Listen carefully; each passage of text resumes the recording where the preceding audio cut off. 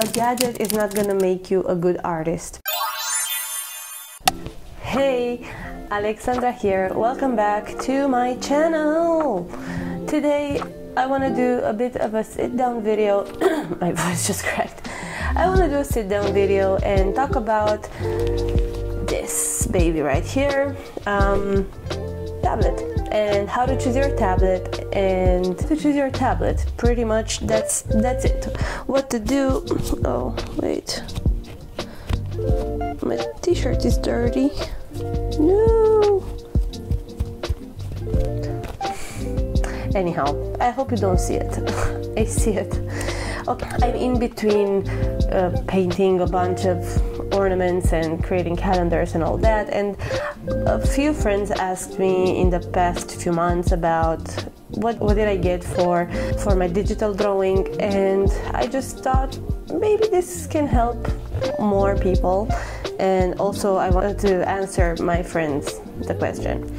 So I don't want to make this a long video, so um, I just wanted to go through what questions should you ask yourself when you decide to buy a digital drawing gadget, be it a tablet, a Wacom, or yeah. I just want to show you then quickly what app I'm using. I'm using two apps at the moment, and I want to talk about a bit about those, and that's pretty much it. So for starters, I'm using a Samsung tablet S6 Lite. I got it during the pandemic, and I, it was already, I think it came out in 2018, this one.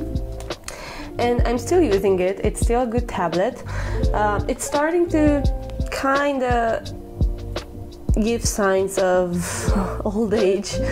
Uh, I, have noticed this with um, the majority of tablets, like Android tablets especially. After a while this kind of start being a bit laggy. Maybe it's with all the updates and all that and yeah. But it, it got a bit laggy. It's still pretty good um, and i'm still using it i'm still creating stuff no problem so, a bit of a backstory. I got this when I was. Oh, and also while I'm explaining to you this, I'm gonna draw something yeah, you know what? I'm gonna draw. I got this during the pandemic. Uh, it was 2020, I think, and because I, I, was doing traditional art before that, and because of the lockdown, I was I was having custom orders and all that, custom commissions, but I wasn't able to send that easily because well, lockdown. And I took a break then and I was like, okay, I need to find something because also I needed a hobby and I needed to find something to do and also I needed to pay my bills and I, I had to um, find ways to make money easily, more easily. So yeah, I was playing with the idea of getting a tablet and obviously I wanted to get a an iPad but the budget was not there. So I'm gonna draw today something Christmassy, something wintry, something like that. If I wanted to get a new tablet today, and I'm actually doing this because I'm in on the lookout for a new tablet. The first question would be what is my budget? Because I think that's the most important.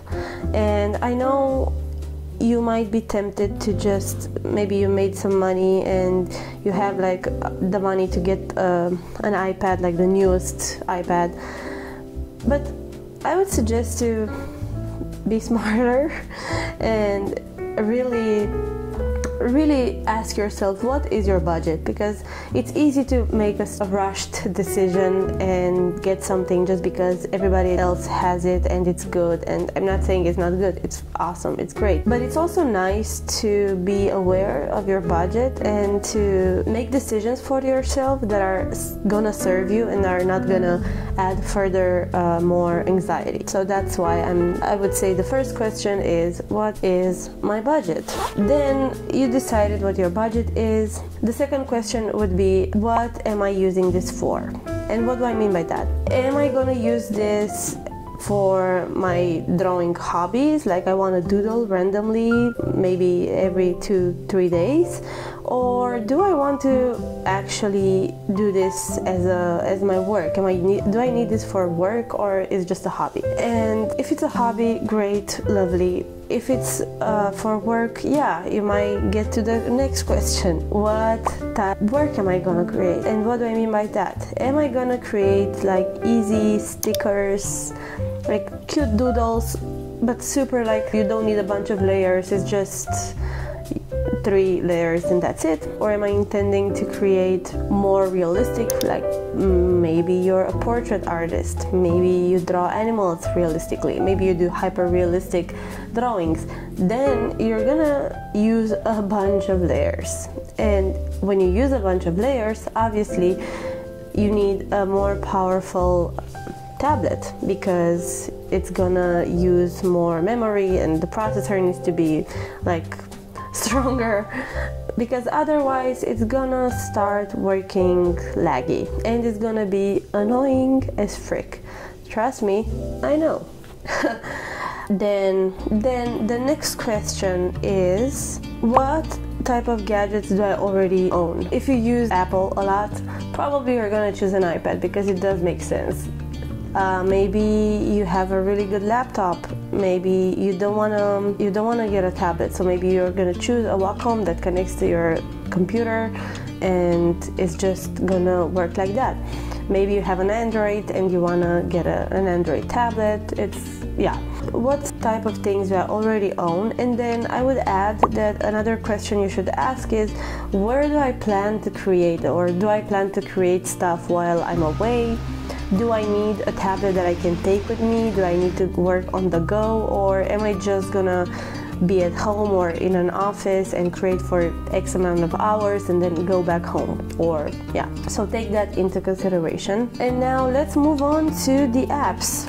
Uh, obviously, you're gonna need something to draw with, and let's see if you're choosing an iPad, it's pretty self explanatory. You're gonna choose Procreate, most probably. It's super nice, it's super intuitive, it's just a good app. Then, if you're choosing drawing tablet, maybe you're gonna choose Photoshop, Illustrator, Krita, I think it's also on Think. I'm not sure, I need to check this out. Then, if you're choosing an Android tablet, if you're, yeah, if you're using, if you're deciding on buying an Android tablet, you have a bunch of options, a bunch. You have some options.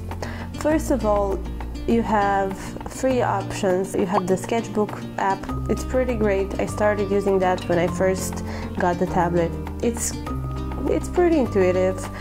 Then I moved along to Infinite Painter and I'm still using that. I think this in my opinion is the best for what I need and for what I use and I got used to it so probably that's also a factor. Um, but yeah I have this uh, this tablet. Infinite Painter is pretty it's a pretty great app. Then uh, you all you have a free version and then you have a paid version and the paid version is I think around $10 so it's not that expensive and then this is newer. There's a new app, HiPaint which I think it's pretty safe to say it's super close to Procreate. Uh, it has a lot of similarities with Procreate. It works pretty smooth. You also have a paid version, if I'm not mistaken. With this, I've created some animations because as the Procreate has it has this option of creating little animations. I'm still learning to use it because some if you double tap nothing happens. And I know when I go to settings uh, it should happen. It, something should happen. But for me uh, it just doesn't work. I still need to figure this out. All in all it's a good app. It has a bunch of brushes. Uh, I like the textures on their brushes way better than on Infinite Painter. And the fact that it has the animation setting that's also very nice I think you can also let me check out. Wanted to see if you can save it as SVG, but you cannot. For SVGs, if you want to create that and you're on Android, I would suggest Infinite Design. It's not amazing, amazing, but it's good if you want to try something like that. Unfortunately, I don't think there's Illustrator anymore. It used to be at some point for Android. Now I think it's only for um, Apple and you know Windows. If you're using an iPad, there's Vect Easy for uh, there's an app that you can create vectors. So it's pretty self-explanatory. Also for Android, you have Adobe Capture and you can create SVGs from this and you can take sketches you have and play around with them and there's this cool option where it will choose and select the shape and then you can go save it as SVGs and that's pretty nice I would say. So I hope you find the perfect option for you and I hope you choose something that works for you and for your budget. And I just wanted to say this like a little reminder you don't need a gadget to be a good artist. A gadget is not gonna make you a good artist because a gadget is just gonna enhance or give you more possibilities of creating and exploring your crazy ideas. But if you're, you're a good artist, you're a good artist no amount of apps or the lack of it or tablets or the lack of that will make you be less. I know it can be frustrating if you are an artist and you see all these videos and reels and shorts and TikToks and people using the latest apps and the latest tablets and I know it can get like, oh man, I want that. I get it. I totally get it. But don't make decisions just because you're afraid of missing out something or just because someone else has it. It's not worth it. If it doesn't help you or if it impacts you negatively like that decision impacts you negatively it's not worth it. I hope you find what you're looking for and i invite you to subscribe to my channel. Let me know if you like this kind of videos like more talk down and less tutorial-ish and if you enjoy, let me know in the comments. And until next time, bye!